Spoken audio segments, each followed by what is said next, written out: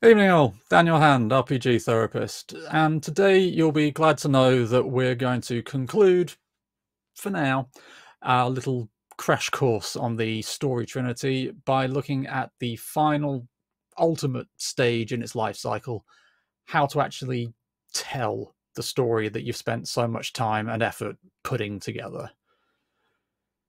I've repeatedly said throughout this little series, if you want to call it that, that the story trinity applies to all stories everywhere, regardless of the medium used to tell it, and I stand by that claim. And so, regardless of whether you're here as a therapist, a role player, a novelist, a screenwriter, a comic book writer, whatever, all of this applies to you. I perfectly understand that it's a bit on the basic side and that any of you watching this with even a modicum of experience in storytelling will probably be rolling your eyes at how simplistic it all is. But if you're brand new to all this, you know, you're just starting out as an author, a filmmaker, or yes, as an RPG therapist, I truly hope you found this series at least semi useful. So, telling a story. How does one actually go about it? Well, once again, it all boils down to those three crucial elements within the story trinity. Say it with me now character, setting, obstacle. More specifically, it involves an ongoing stream, or perhaps cycle is a better way of describing it, of taking each of those elements in turn, giving them a moment in the spotlight, and then moving on to the next. Side note, I'm perfectly aware that there will always be exceptions to any rule, so please don't have a go at me in the comments with various examples that don't conform to this model. Peace, peace. Where you actually start the story will, of course, depend entirely on where you want to start it. If you want to offer a sweeping description of the landscape in which events are to take place, you'll be starting with setting. If you want to give a brief glimpse into the protagonist's daily life, you're starting with the character. Or if you want to start on some big, portentous demonstration of an enemy's power, you'd be starting with the obstacle. Lord of the Rings, for instance, very clearly starts with setting. Concerning hobbits is literally an essay about the culture within that tiny part of Middle Earth. Pride and Prejudice establishes the setting by pointing out the common knowledge that rich men need to get married. Alice's adventures in Wonderland begins by giving us a zoomed in view of its eponymous character and what her day was like before a particular rabbit wandered into it. And Avengers Infinity War begins with Thanos, the obstacle we'd been building towards for however many years, wiping out the Asgardian ship.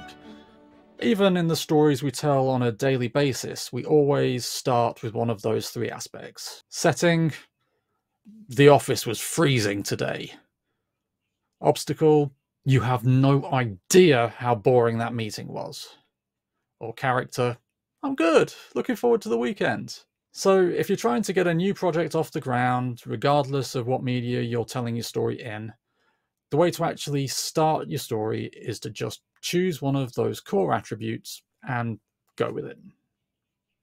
If you want to try a fun exercise, take a look at some of your favorite books or movies or, you know, whatever, and see which part of the story trinity its beginning would fall under.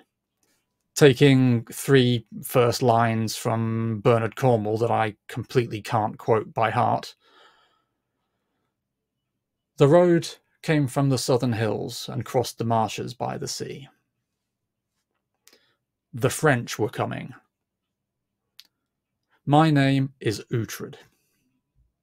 Okay, of those three, which is which? Word of advice for RPGs, your safest bet is usually to start off with the setting. Describe the world, the weather, the people, the feel this gives your client time to get settled in the story before they actually have to contribute. And once you've decided which element of the Trinity you want to start with, all you need to do to get the rest of the story is move on to the next one. If you kicked off with the setting, your next step is to give a little hint about, or you know, to outright show the obstacle. You've described a ship bobbing along on the ocean waves, and you could say, but things aren't entirely as they seem. Or you could just describe the pirate ship giving chase. If you started with the obstacle, move on to how the character reacts to it. A man in a spiky suit attacks, and now the mutant turtles of a teenage ninja variety have to fight, with or without pizza. And if the character was your opener, you now want to show how they fit into the wider world. It turns out that the reclusive man lives in a swanky house and is mourning the death of his wife by bonding with the puppy she left him. Next, you guessed it. Just move on to the third aspect. You started with the setting, gave a glimpse of the obstacle, now show the character's reaction. You showed us the obstacle, then the character's reaction, now show us how the setting has changed as a result, or how they've moved through the setting. You introduced the character and grounded them within the setting. Now it's time to show how the obstacle comes along and turns everything on its head. And once you've done that, repeat. And honestly, that's it.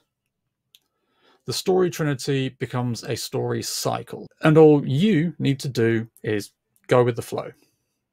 Setting to obstacle to character, or obstacle to character to setting, or character to setting to obstacle, and then back to the start. Let's look at an example quickly.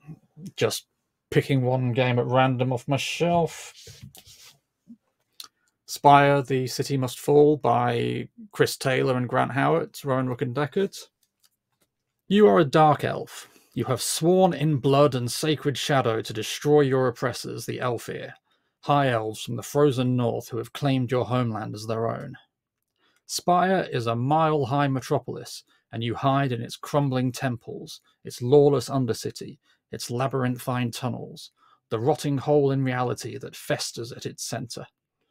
Your masters while away their days in opulent cruelty and glittering sunlight far above. Spire is all the world you have ever known, and it must fall. How far are you willing to go for the revolution, and what sacrifices will you make to see the drow in control of Spire once more? You see? Character, drow, setting, Spire, obstacle, revolution, then back to character. How far are you willing to go to achieve said revolution? As we mentioned last time, your primary concern is with the setting and the obstacle, while the client takes ownership of the character. So, when you're running a game of Spire, you start by introducing the world of the Spire, a mile high megastructure that houses an entire city. Then you talk about the High Elves and how they're oppressing Spire's drow citizens. Then you'd invite your client to talk a little bit about their character, you know, who they are, what they do, what their background is, etc. After that, you talk about the immediate area the client's character finds themselves in. Maybe they're in the works or moving down towards hard, followed by a thing happening. Uh, an Aelfir violently beating a drow peasant, for example. And then you ask the client what their character would like to do. Maybe they attack the abuser. Then you describe how the situation advances. People stop to watch what's happening, or the Aelfir draws a weapon. And then once again, the client decides how the character reacts.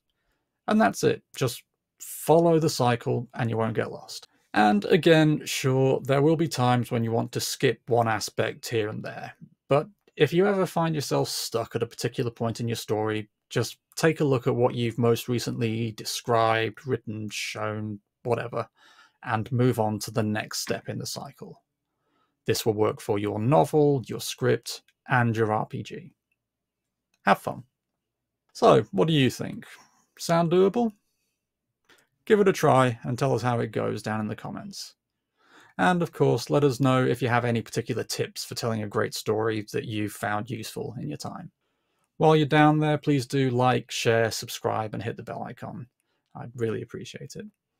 Everyone, as usual, thank you so much for watching this video. I really look forward to speaking with you again next week. So until then, take it easy, don't do anything I wouldn't do, and have a good one.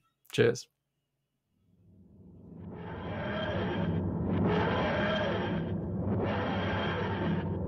Do you like Doctor Who?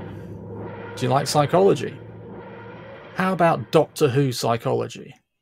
Well, you're in luck.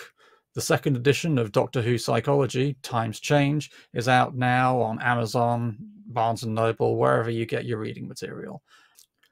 I contributed a chapter about groupthink and asked the fundamental question that we all must face at least once in our lives. Are you a Dalek? Also, of course, whilst you're there, do check out my own book, Role Playing Games in Psychotherapy, A Practitioner's Guide. It has everything you need to learn about the story trinity, the story cycle, and has an entire system of games mechanics to help work with your clients. Do pick it up and leave a review on Amazon. I'd much appreciate it.